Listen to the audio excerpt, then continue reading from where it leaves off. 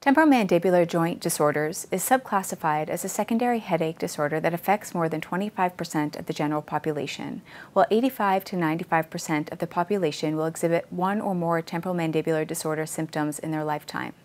Chronic cases may lead to depression, poor sleep quality, and low energy, as well as negatively affect social activity and employment. While the etiology is multifactorial, including psychological factors, most symptomatology is due to hyperactive and dysfunctional musculature. The temporal mandibular joint is a complex synovial hinge joint that allows for depression and elevation of the mandible, as well as a gliding action, mostly via ipsilateral temporalis masseter and the medial lateral pterygoid.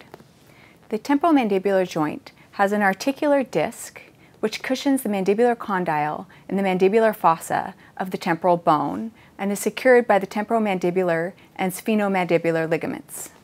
Clicking and popping, which occurs in the temporomandibular disorders, may be due to abnormal motion of the articular disc in the joint space.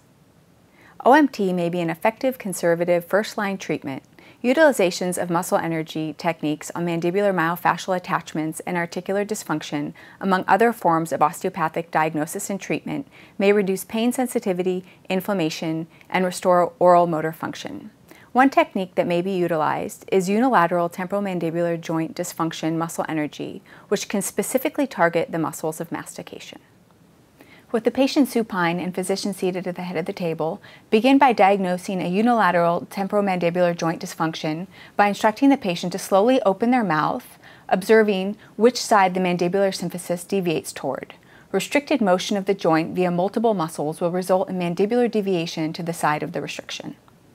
To begin treatment for restriction of the right temporomandibular joint, the physician's left hand will support the left side of the patient's head, while the physician's right index and middle fingers contact the lateral aspect of the right mandible. After instructing the patient to slowly open their mouth, the physician engages the dysfunctional barrier by applying a lateral pressure to the left with the right hand as soon as the mandibular symphysis begins to deviate. The physician will simultaneously apply counterforce with the supportive left hand. Once the barrier is engaged, the patient is instructed to push the jaw to the right against the physician's force, and then they will hold contraction for three to five seconds. One, two, three, four, five. The patient should then relax for two to three seconds. The physician will then engage the new barrier by increasing pressure and moving the mandible further to the left while the patient resists for a count of one, two, three, four, five, and relax taking up any slack and repeating for a count of one, two, three, four, five. This can be repeated as many times as necessary to feel a release. To reassess, have the patient slowly open their mouth, assessing if the mandibular symphysis tracks midline.